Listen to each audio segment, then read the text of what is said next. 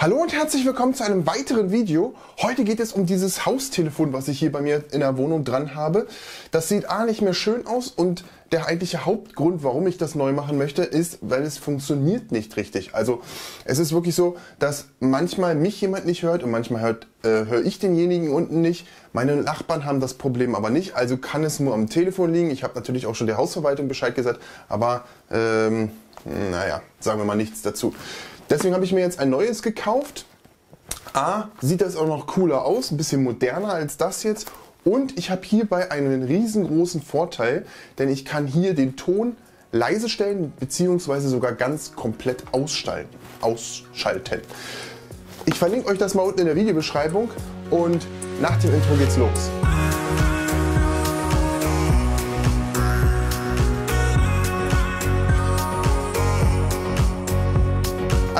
Allererstes werden wir das Teil mal auspacken und gucken, was da alles so drin ist. Und danach werden wir natürlich erstmal anfangen, das alte eben abzubauen. Da gebe ich euch auch gleich noch den ein oder anderen Tipp, wie ihr das am besten machen könnt. Denn es macht Sinn, ähm, ja, ich sag mal, dreimal auf Sicherheit zu gehen. Also am besten ein Foto machen von der Verkabelung, aber auch vielleicht noch ein bisschen was abschneiden. Aber wie gesagt, Dazu kommen wir gleich, wenn das Teil abgebaut ist. Jetzt werden wir erstmal, hier ist auch noch eine schöne, wunderschöne Bedienungsanleitung. Das wird das Ganze noch mal ein bisschen einfacher machen, weil das ganze Teil muss, ähm, also das kann man alles Plug and Play ähm, ja, tauschen, das ist nicht das Problem. Trotzdem muss man so ein bisschen auf den Verkabelung oder auf die Verkabelung achten, weil ähm, bei den neueren oder bei dem bei dem alten ist es ein bisschen anders angeschlossen als bei dem neuen, aber wie gesagt, dazu kommen wir gleich. Aber ihr seht schon, wir haben hier alles einzeln und das finde ich richtig, richtig gut. Ähm, genauso wie das Ding hier. Wir können das hier abnehmen und das Teil beiseite packen. Und wir müssen später nur noch dieses Teil anbringen, die Kabel anschließen und dann sind wir eigentlich schon so gut wie fertig, weil dann brauchen wir nur noch alles aufstecken bzw. das Kabel anstecken. Gut, ähm, ihr seht das schon mal. Das heißt, wir sehen aber auch, dass wir wahrscheinlich Löcher bohren müssen. Obwohl, nee, warte mal. Ah, doch, ich glaube, ich muss neue Löcher bohren. Na, das werden wir gleich sehen. Auf alle Fälle werden wir jetzt erstmal das alte abbauen. Und dazu hatte ich eigentlich einen, da ist er, kleinen Schraubenzieher. Denn ihr müsst nämlich hier reingehen und hier hinter ist eine Schraube. Die konnte man schon gar nicht mehr richtig festdrehen. Also ich wette, da hat schon mal jemand dran rumgespielt. Ähm, also ich habe das natürlich vorher auch schon mal aufgehabt, als ich hier irgendwann eingezogen bin. So sieht das Ganze jetzt aus. Ich habe euch jetzt mal ein bisschen dichter rangeholt. Jetzt könnt ihr sozusagen schon mal den kompletten Aufbau sehen. Ich hoffe, ihr könnt das ganz gut erkennen. Wenn nicht, werde ich euch irgendwie ein Foto einblenden. Und Foto ist letztendlich auch schon gleich das Sprichwort. Wir werden mal hier kurz die Box wegklappen. Und wir machen jetzt als allererstes, bevor wir da irgendein Kabel abmontieren oder irgendwas machen, werden wir mal ein, zwei Fotos machen. Und zwar am besten so genau wie möglich und so dicht wie möglich, damit man auch wirklich später die Farben erkennen kann, wo was eben angeschlossen werden muss. Ein bisschen weiter. Wie gesagt, ich blende euch zur Not die Fotos ein, die, wenn ihr das jetzt nicht gut erkennen könnt, aber das sehe ich eben erst später auf dem PC. Mein zweiter Tipp, wie vorhin schon kurz erwähnt, ist aber nicht nur, dass ihr jetzt hier ein Foto von macht, sondern auch, ihr seht, ähm, wir haben hier zum Beispiel ein weißes Kabel. Hier ist auch noch ein weiteres weißes Kabel, was hier angeschlossen ist. Das ist keine Brücke. Und hier ist sogar noch ein drittes weißes Kabel. Wobei das hier hat einen anderen Farbton. Das geht so ein bisschen ins, ins, ins Dunkelweiß, sage ich mal. Ähm, so einen leichten Grauton vielleicht. Aber wie gesagt, die beiden haben wirklich definitiv beide die gleiche weiße Farbe. Ähm, da werden wir uns jetzt kleine Markierungen mit einem schwarzen Edding ranmachen. Also ein Ring, zwei Ringe und da hat das Ding kriegt vielleicht drei Ringe, damit wir eben genau wissen, welches welches ist. Das machen wir jetzt und wenn wir das gemacht haben, machen wir noch mal ein Foto.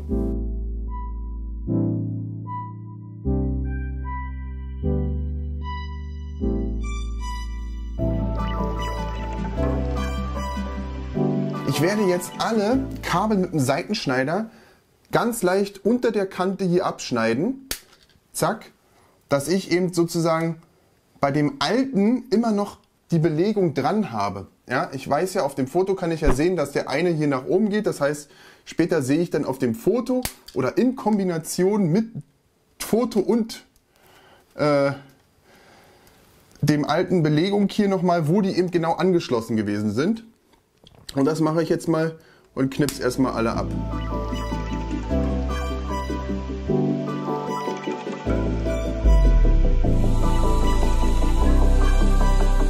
Ich habe das jetzt hier mal ein bisschen aufgesplittet, und zwar die Kabel, die hier sowieso schon nicht angeschlossen gewesen sind, weil hier kommt ja auch nochmal blau vor und weiß vor und so weiter und so fort.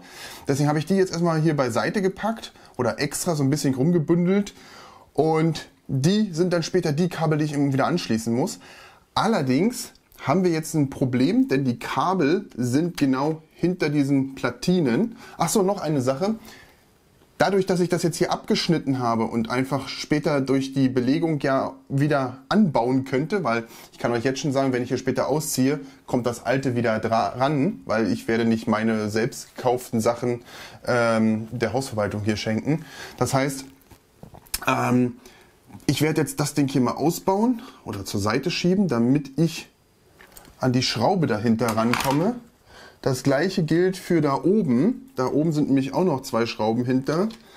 Ähm, da müssen wir natürlich auch das abschrauben oder abmachen, die Platine. Das ist sozusagen diese Abhörsicherung oder wie auch immer das sich genau schimpft.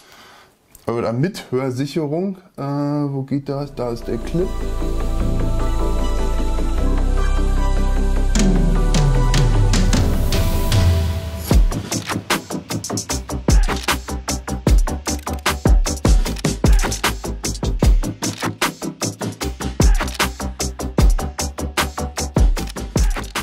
Ich habe jetzt schon mal ein bisschen was vorbereitet. Ich kann leider nicht alles machen, weil ich wollte das jetzt natürlich unten auch noch festschrauben, aber ich kann leider keine Löcher in die Wand bohren.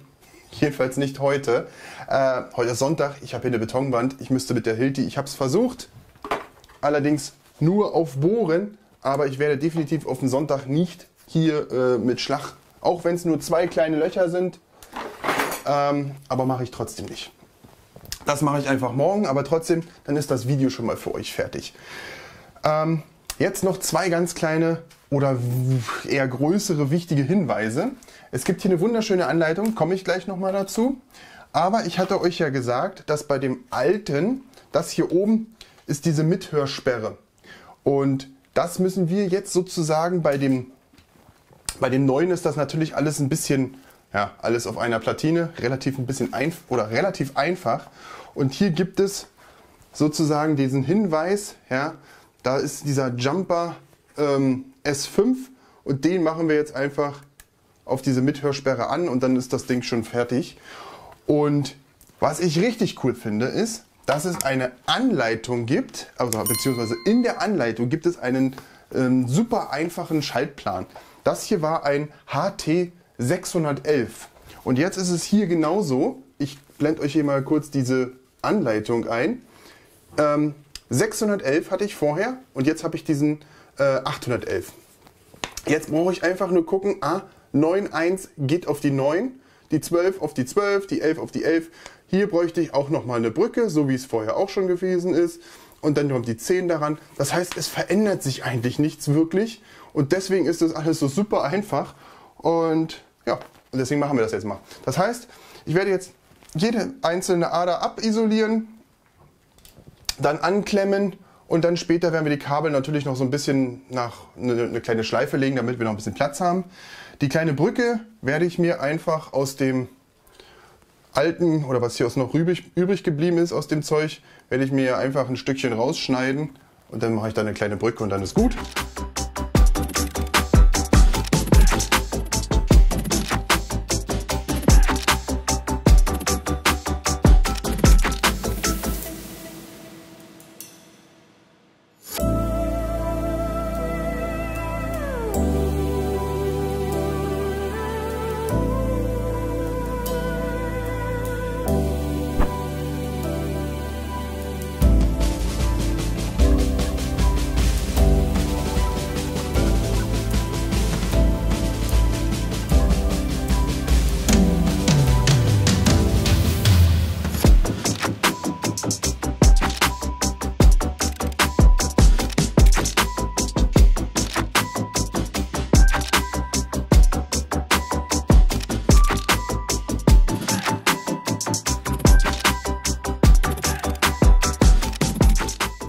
Einen Tag später, ich habe jetzt die beiden Löcher endlich bohren können und das Ding ist jetzt wirklich bombenfest. Und jetzt werden wir uns darum kümmern, dass wir alles zusammenbauen. Der Zusammenbau ist jetzt wirklich mega einfach, weil wir haben nur noch diese eine Blende und hier hinten ist alles drauf. Also wir müssen jetzt hier nichts mit Kabeln irgendwie rumfummeln. Ich finde diese Lösung, so wie sie jetzt hier ist, wirklich perfekt. Hier haben wir die ganzen Pins und die kommen jetzt sozusagen hier in diese, in diese kleinen Löcher rein. Das heißt, einfach nur noch oben ansetzen. Fertig. Das war's schon. Mehr ist es nicht. Jetzt werden wir natürlich noch das Kabel hier reinpacken. Zack. Und jetzt ist das ganze Teil schon zusammengebaut. Das passt optisch generell viel, viel, viel schöner hier rein und vor allen Dingen ist auch viel, viel moderner.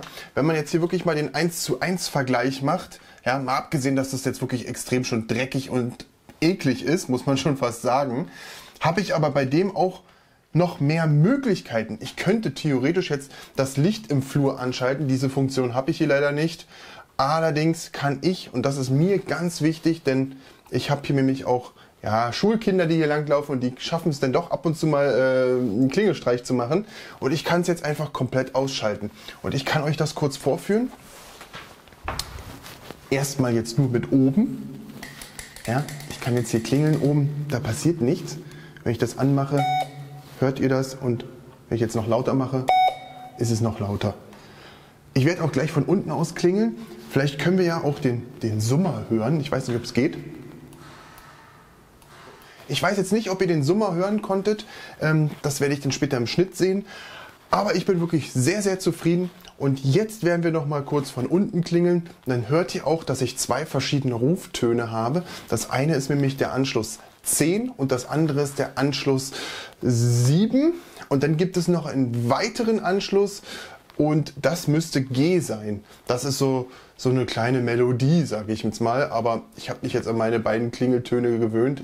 Die bleiben auch so, wie sie sind.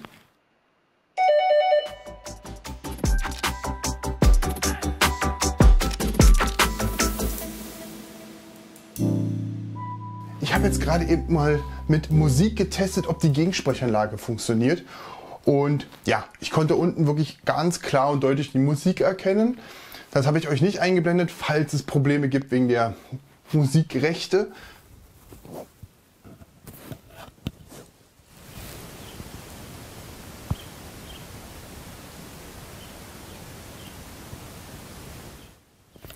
Ich weiß nicht, ob ihr das hören könnt.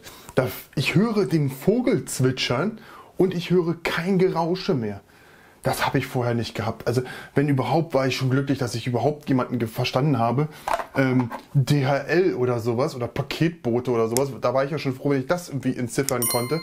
Ich habe jetzt ein glasklares Signal, einen glasklaren Ton. Ja? Mega geil. Ob das jetzt an dem Telefon lag, ähm, dass es generell einfach kaputt war, hatte ich ja am Anfang schon gesagt, dass das nicht mehr ganz gut funktioniert, dass ich das deswegen ja auch weghaben wollte. Nicht nur, weil es eben hässlich und dreckig ist.